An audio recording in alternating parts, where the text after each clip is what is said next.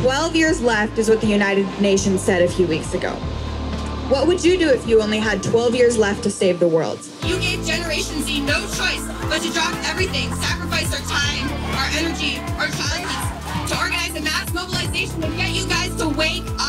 My name is Jamie Margolin. I'm 17 years old and I am the co founder and co executive director of Zero Hour. My generation has been committed to a planet that is collapsing.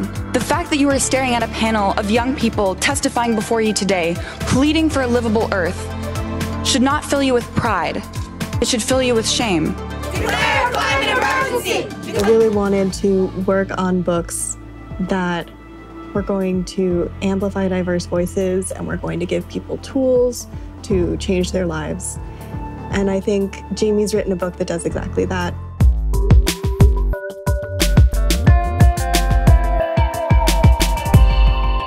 So this book came together because Zero Hour really started taking off.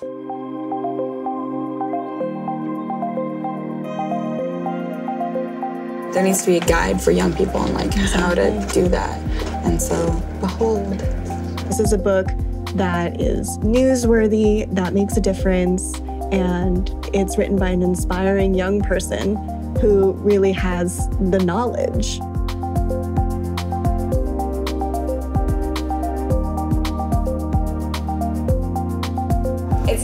About the Green New Deal legislation, it's about the mindset, it's about Jamie is on the forefront of these kind of books.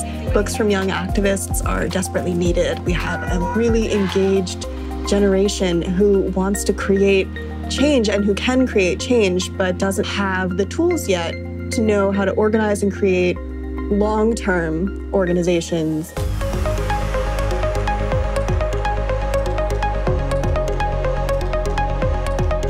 The vast, vast majority of the work that it takes to be a community organizer, especially in climate justice, 99.9% of it is us in our computers, us on conference calls, working nonstop. Right. And it's just very grueling, it's very unthankful, and it's not very glamorous. What you see in the media right now is like the tip of the iceberg, and it's after thousands of hours of work. A protest is a powerful, energizing, one time moment. The media vanishes, and where do all those really engaged young people who want to make a difference go? What more can they do?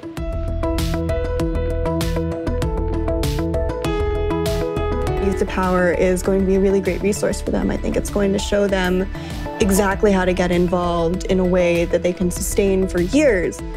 We've been around for two and a half years now. The lifespan for most youth organizations is two years, so we've kind of reached that. We're going to see change, and Jamie really knows this. You need to be in it for the long haul. And so, what she's written is a book to show you how to stay in it for the long haul.